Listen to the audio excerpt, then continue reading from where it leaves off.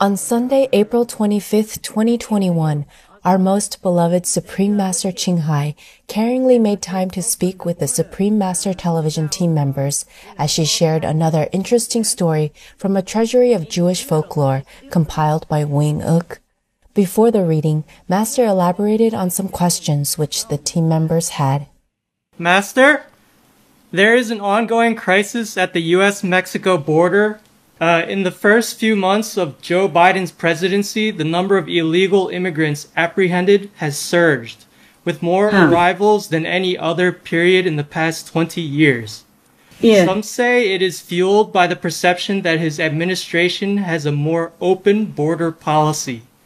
By contrast, the former U.S. President, His Excellency Donald Trump's policies tightly restricted legal and illegal immigration and directed immigration officials to apprehend anyone in the country unlawfully. Would Master kindly share her thoughts on this issue? Yes. Uh, President Trump wanted to regulate the immigration traffic flow from other countries to be in a more orderly manner to protect the Americans as well as the immigration people. The US has already actually a kind of open policy. Like uh, yearly, everyone can apply to live there or work there if they win the green card program. 55,000 nowadays yearly can have that chance. Plus, anyone can apply in many other ways to live and work in the US openly. Uh, open border is very good. Hmm. But it should be done, you know, uh, in an organized way. Otherwise, it will be chaotic. As I have read in the news, it uh, seems to to breed a kind of crisis, yeah, at the border between between USA and uh, Mexico. Yes. Uh-huh, uh-huh. And because you cannot just open the border uh, without, uh, you know, for planning. Yes. Yes. In Europe, it's different. They have a Schengen zone where people from different countries in Europe can just uh, go in and out of any other countries without without any border, without checkpoints, yeah, without passport or any ID uh, necessary. But they had planned many equipment and systems to put this uh, into practice. But America and Mexico and others, like uh, South American country, they did not plan. So in that case, it's, it's not very good to just uh, let people come in like that because you might have uh, different people with maybe disease or criminal records or other kind of uh, unpleasant things and also, if you don't plan in advance, then you don't have like a center to screen people and to give them ID to go into the U.S. so that they can find a job or they can find their relatives. As I saw it in the news, it's kind of very chaotic. All the children like are squeezed together in pens and it's very, almost very unkind because people come to the United States all of a sudden, so the people at the border cannot deal with the influx so fast. And there might be not enough comfortable uh, accommodation and not enough food. You know, the logistic stuff, this is not uh, very good like that. Not good for America, not good for Mexicans and other uh, immigrants. Uh, I heard that they came all the way from even Honduras and other countries in Central America. So to open the border is very nice, very kind, and very good for for any country. When you need some extra workers or you just want to be hospitable, it's very good. But in this case, when it's so chaotic like that, it's very bad for for the immigrants especially for the small children. I saw them even drop over the fence, the wall of the border, and that's very bad for them. Uh, this must be traumatic for them, and it's very difficult for the child to forget this kind of dramatic experience in their very young and tender age. And also important is in the time of pandemic, most of the borders are closed to protect the, the people. And at the moment, it's not favorable to open. If the children are squeezed together like that, healthy and unhealthy, you know, that's very bad for all of them. Don't you think so? Yes. And also, I saw it in the news that many people are sick, uh, like they have COVID 19 and they are just left, you know, to run, go into the United States. And that might infect uh, healthy Americans also. Yeah. That's very, very inconsiderate. It should not have been done this way. Yeah, it should have been more organized before the immigrants were able to come into America. Mm. Otherwise, the open border is very good. Yeah, good for the host country, good for the immigrants. Because immigrants need jobs and they will be motivated to work very hard and contribute to the country as well as for the immigrant himself. Yeah. Just that we have to organize, you know, in advance, have a good place for them to stay meanwhile and some doctors, some medical personnel to take care of their health when they first come and organize the logistic uh, situation, you know, with food and clothing and uh, blankets and rooms and hygiene, stuff like that. It wasn't really very organized and that's very, very bad for the children who are sent there, especially without any parents or adult accompaniment. I don't think it's very kind, even though the intention may be good. Yes. But, yeah, but good intention is not everything. Good intention has to come also with good logistic arrangements. Yes. And all the preparation to welcome the guests. Even in Europe, with this uh, Schengen agreement in the Schengen zone, during the pandemic, borders are closed also. So the border between the US and Mexico opened. I think it's not a very good idea at the moment. Besides, the mentality of European countries is maybe different from the mentality of the Mexicans and the Americans. Different expectations, different way of life. In the European Union, most of the people's uh, standard of living are similar of course, there are always the, the richer and the less rich, but uh, the standard of living is more or less similar between the countries in the Schengen zone. Even then, during the pandemic, they closed the borders as a prevention to protect their citizens. Especially in the pandemic situation like we are in right now, I don't know if the borders should be open like that. Mm. And that will be also uh, encouraging the smugglers, you know, human traffickers, or drug traffickers, all kind of uh, unfavorable group of people also will be mixing in. And it's no good for the host country, for America at all. After Master kindly translated the Jewish traditional tale called The Traveling Businessman and a Trustworthy Ghost, she emphasized an important revelation that was made in the story. You see, in this story, the ghost even told, and truthfully, that most people who die suffer in hell. Because very rare we have some virtuous and morally uncorrupted person. Yes. And to eat meat and all that is already a sin, already sinful, and already punishable by law, the universal law. I really want to plead with all the religious leaders. You must make a good example. You must be a vegan now. Then God will forgive. Otherwise, truly, you will go to hell. I mean it. Like everyone else. If you continue to eat meat, drink wine.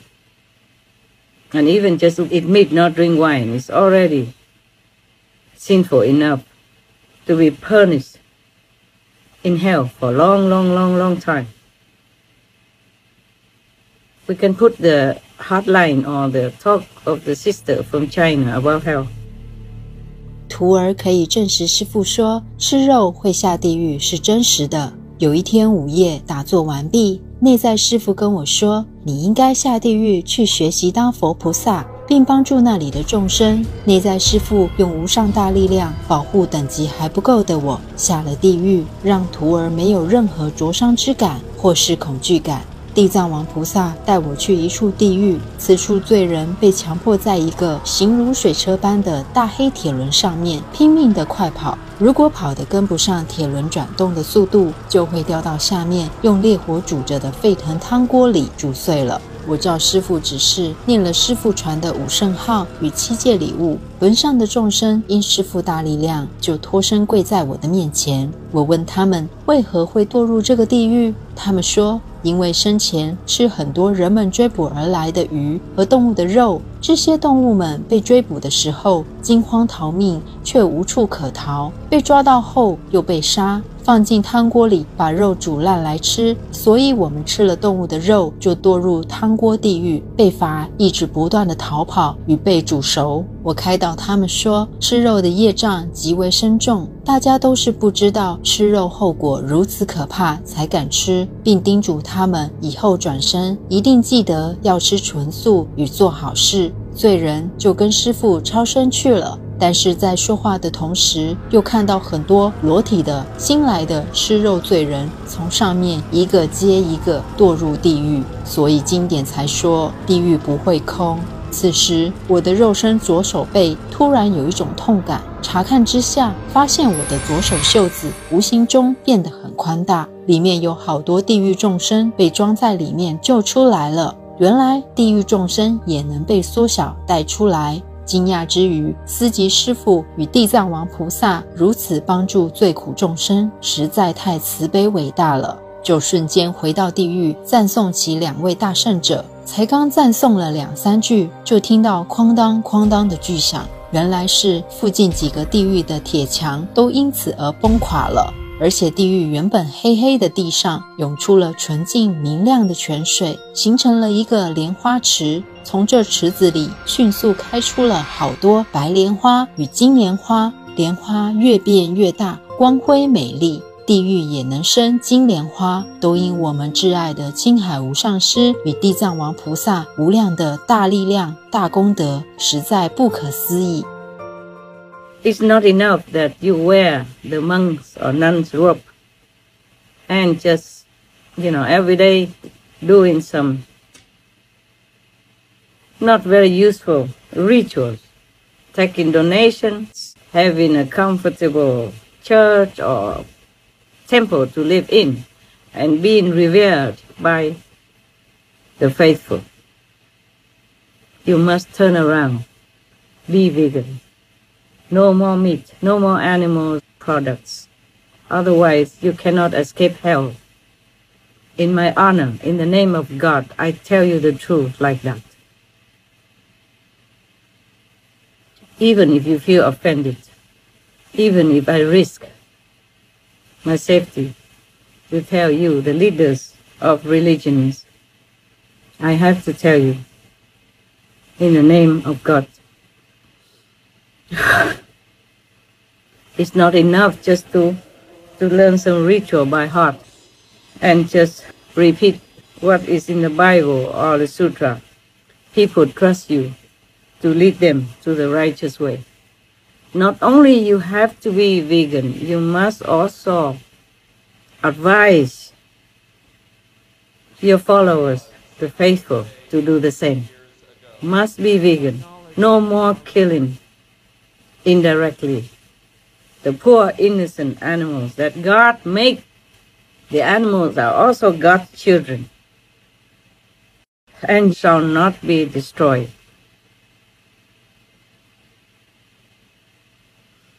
The animals are helpers of humankind. In the Bible, it even says all that. Ask the birds, they will show you. Ask the fish, they will instruct you. Ask the animals, they will tell you. That will advise you. So they are some beings to be respected, to be loved, at least to be friendly with. It's not for us to eat, to torture in such a barbarous way. And if you eat them, these torturously kill meats, you condone this practice, and you are unaccomplished. I am telling you, as a friend, as a faithful, as a person who respects, loves God, as a person who loves human beings and animals, as a person who cries every day and night for their suffering. I'm not spending idling time talking to you like this. I must warn you that hells are awaiting you if you don't turn around now and stop eating meat of the innocent animals. We, even no priests, even ordinary people, we humans, a humane human, should never enjoy at the cost of suffering of any others. God say, thou shalt not kill. And that never fails. That law of the universe is everywhere correct and just. No one can escape that. As you sow, so shall you reap. Just because you don't see the animal suffer, just because you don't kill the animal, doesn't mean you don't partake in the sin thereof. People trust you. You must advise them to go the compassionate way, the way Jesus walked, the way the Buddha taught, the way Guru Nanak Dev Ji showed to us, the way Prophet Muhammad, peace be on him, taught us. All the masters say the same. Lord Mahavira did not even want to eat other fruits even. And we are allowed to eat fruits and vegetables and in plenty. We are not short of food, of nutrition. We should not kill just to enjoy. This is wicked. This is against God.